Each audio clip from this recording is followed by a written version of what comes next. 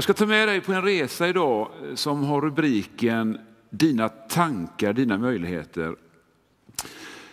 Det var någonting som jag inte direkt filosoferade över när jag hade skadat mig, men lite grann i backspegeln så kan jag se att det var viktigt att jag såg på de möjligheter som fanns.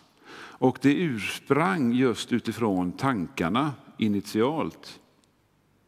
Men för att, vara, för att kunna se möjligheterna på resten av livet så var en viktig ingrediens att jag kände mig trygg. Så trygghet var en bra plattform att stå på. Och vad är trygghet kan man fråga sig. Vad är trygghet för dig? Vad uppskattar du i ditt liv just nu som trygghet? Skulle du kunna räkna upp tre exempel på trygghet? Så vad är då inre trygghet?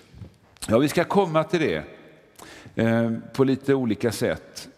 Det kommer inte bli någon komplett lista, men jag vill lite grann stimulera dig i tanken att trygghet är viktigt, men objekten som vi hänger upp vår trygghet på kan komma att, att variera under vårt liv. Faktiskt. Hur lär vi oss då att detta är viktigt för vår trygghet? Ja, om vi tar det här exempel med arbete.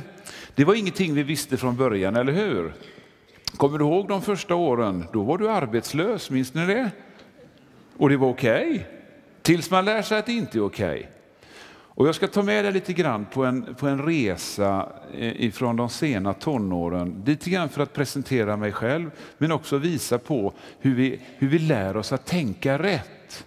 Har ni tänkt på att vi, vi lär oss att tänka rätt? Ni gjorde ju rätt, till exempel när ni kom in här idag allihop. Alla satte sig på en stol. Det är helt rätt.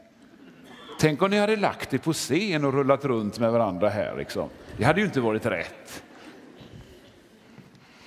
En annan sak ni gjorde rätt det var det att när ni gick förbi garderoben här borta så hängde ni bara av er ytterkläderna. Det är också helt rätt. Det räcker att en av er hade gjort fel och hängt av sig allt så hade alla liksom känt liksom, herregud, han måste ju vara från Drammen eller någonting.